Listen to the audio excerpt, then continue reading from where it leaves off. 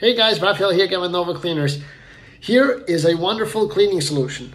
Dawn dish soap and hydrogen peroxide. Now here are four things that you can effectively clean with this powerful solution.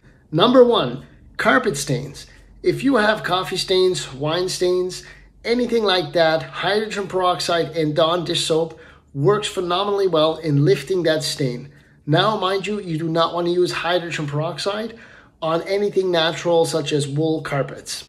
Second thing, if you want to have a great, powerful cleaning solution, use Dawn dish soap hydrogen peroxide to clean the inside of your toilet bowl.